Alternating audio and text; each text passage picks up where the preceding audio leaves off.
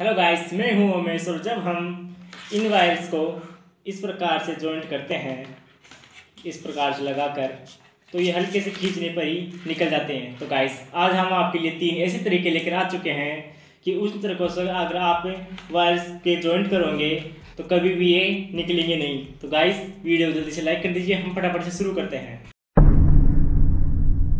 तो गाइस सबसे पहला जॉइंट करने के लिए हमें पहले इन दोनों वायरों को थोड़ा थोड़ा लंबा और छीन लेना है, इस प्रकार से। तो गाइस हमने दोनों को इतना लंबा छीन लिया है। और अब करना क्या है?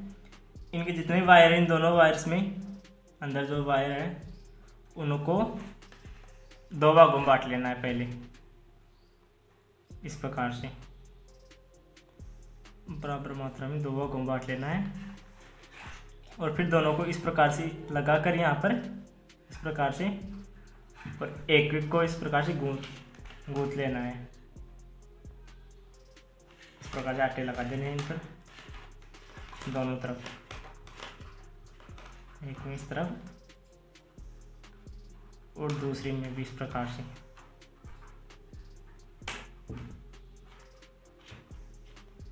इस प्रकार से दोनों लगाकर और अब इसे हल्का सा खींच कर और इस प्रकार से घुमा देना। है और इस तरह की सबसे बढ़िया बात यह है कि हमें इसमें प्लास की ज़रूरत भी नहीं पड़ेगी।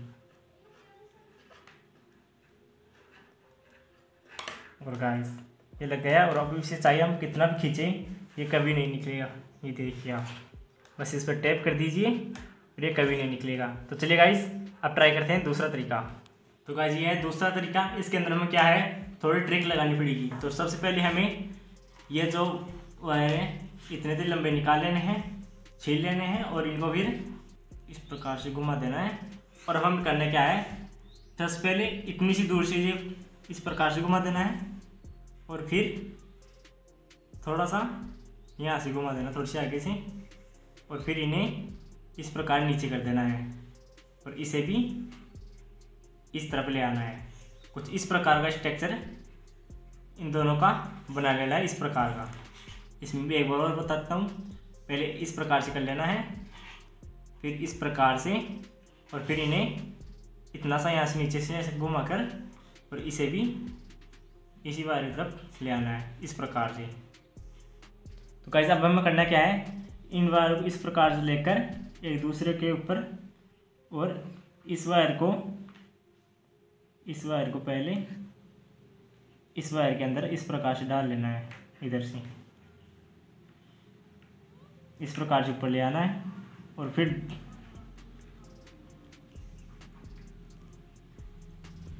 इस प्रकार से करके और फिर इस वायर को भी इसके नीचे से इस प्रकार से करके